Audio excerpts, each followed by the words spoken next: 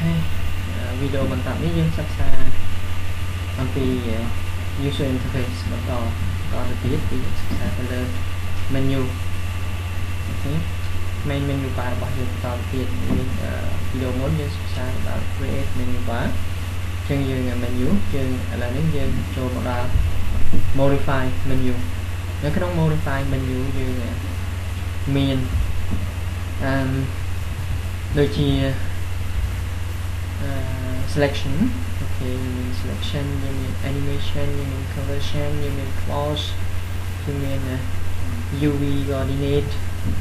យើងមានច្រើនយើងមាន surf surface យើងមាន free from deformer ចឹងទៅយើងមាន V-ray camera នៅក្នុងប្រាំទៀតហ្នឹងសម្រាប់អឺ modify របស់យើងគឺប្រើសម្រាប់ការបដូរទាក់ទងជាមួយនឹងអឺ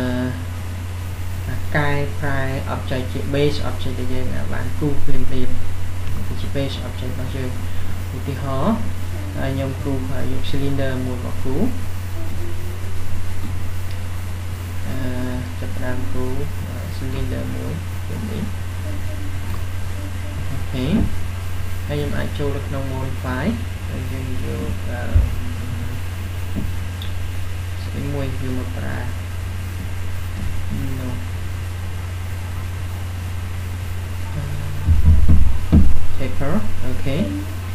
ចូលមក parametric deformer ហើយយក taper ចឹងនៅពេលនេះយើងអាច deform វាបាន OK យើងអាចស្រួចវាបានណា OK វានេះយើងហៅថាជា modify សម្រាប់ modify របស់យើង OK អញ្ចឹងយើងអាចសេរីកែរូបរាង object របស់យើងដូចជា basic object របស់យើងបាន OK នេះសម្រាប់ modify របស់យើង អញ្ចឹងខ្ញុំលុបវាចោលវិញគឺខ្ញុំ right click ហើយយកពាក្យ delete បាទបាត់វាមកធម្មតា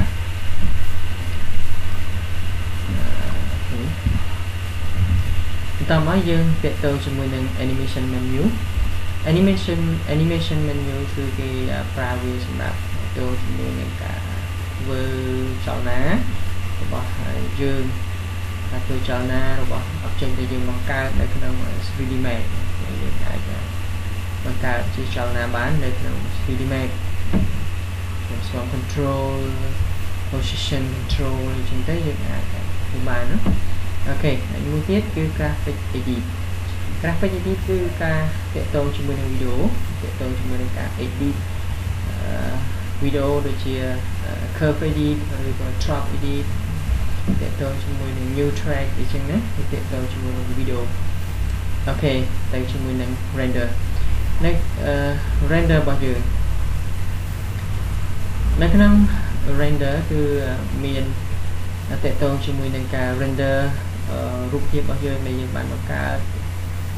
ការ set render render វារបៀបម៉េចឲ្យស្អាតឬមិនស្អាតហ្នឹងហើយនៅខាងសំដៅរបស់វាគឺជា shortcut របស់យើងឧទាហរណ៍យើង render មួយ ក្នុងហ្នឹងយើងអាច click rendering menu ហើយ click render បន្តយើងនឹងឃើញអឺយើង render នៅ Safari អូខេ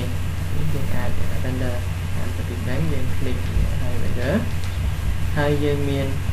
ទៅ render setting យើងមាន environment យើងមាន effect យើងមាន render texture យើងមាន render surface map អញ្ចឹងយើងមានច្រើននៅក្នុងហ្នឹងតែពេលយើងអាចប្រើប្រាស់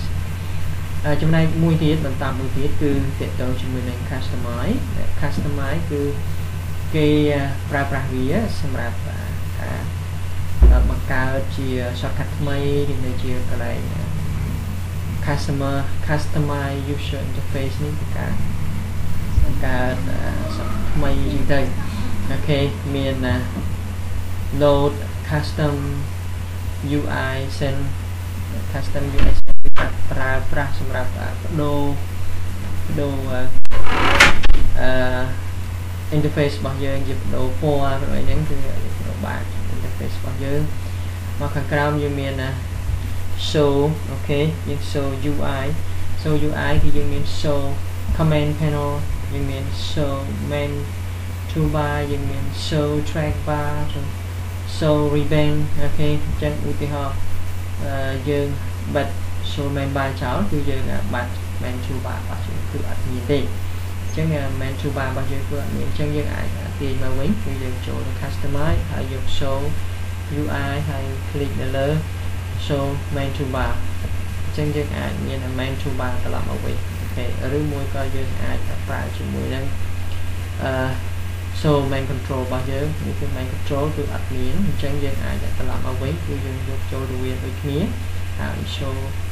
uh, command control អូខេ click command control យើងបានត្រឡប់មកវិញដូចគ្នា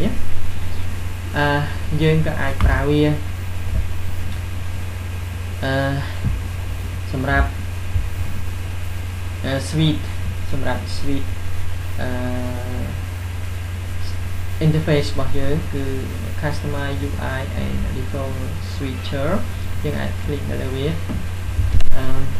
នៅពេលនេះយើងឃើញ window មួយដែលយើងអាច switch វាបានយើងអាចយកជា Mac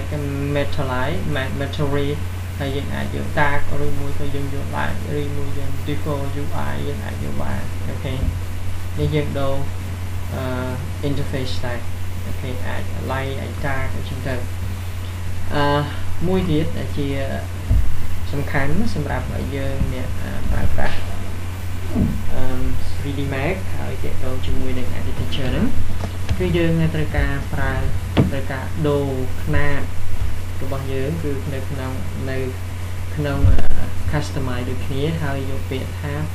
unit setup នេះឯងអញ្ចឹងយើង click លើ unit setup បើជា default របស់វាគឺវា click នៅលើ customize ឬមួយក៏វា click នៅលើ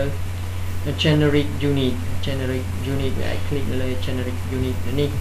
អញ្ចឹងយើងអាចដូរវាទៅជា matrix ខាងលើ matrix ហើយយើងអាចដូរຂະຫນាតរបស់យើងជាសង់ទីម៉ែត្រជាមីលីម៉ែត្រអាស្រ័យលើយើងជាអ្នកប្រើយើងមីលីម៉ែត្រក៏បានសង់ទីម៉ែត្រក៏បានអូខេបន្ទាប់មកយើងចុចនៅលើ system unit setup system unit setup ទីនេះយើងអាចដូរវាយកជាមីលីម៉ែត្រអូខេបើសិនបើយើងប្រើមីលីម៉ែត្រពីហើយអញ្ចឹងយើងត្រូវការនេះមីលីម៉ែត្រអញ្ចឹងយើងត្រូវការ unit របស់វាគឺស្មើជាជាជាមីលីម៉ែត្រនេះគឺ1 unit ស្មើនឹង1មីលីម៉ែត្រអូខេយើង click OK វាហើយបន្តមកយើង click OK ពេលនោះយើងគឺប្រើជាមីលីម៉ែត្របន្តមកយើងមាន menu មួយទៀតយើងហៅថា Max Script menu Max Script នោះគឺយើងប្រើវាសម្រាប់សរសេរ script គេសម្រាប់សរសេរ script ឧទាហរណ៍ជា new script ចឹងមកយើងអាចបង្កើត script បង្កើត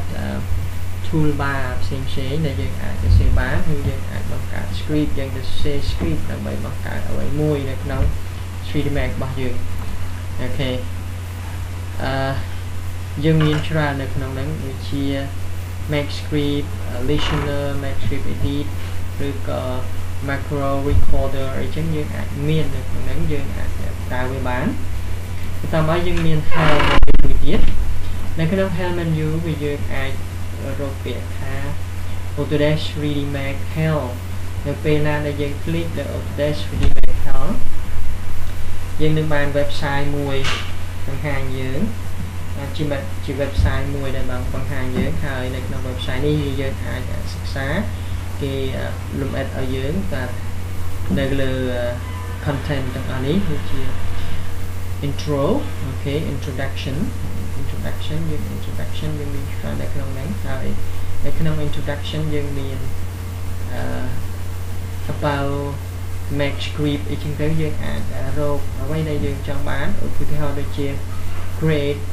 geometry យើងយើង click លើដូចជា create geometry យើងមាន basic base of uh, creating អញ្ចឹងយើងអាចសិក្សានៅខាងនឹងបានដូចគ្នាអូខេអញ្ចឹងនៅក្នុង 3D Max របស់យើងសម្រាប់ menu គឺយើងប៉ុណ្ណឹងហើយយើងនឹងជួបគ្នានៅវីដេអូក្រោយមួយទៀត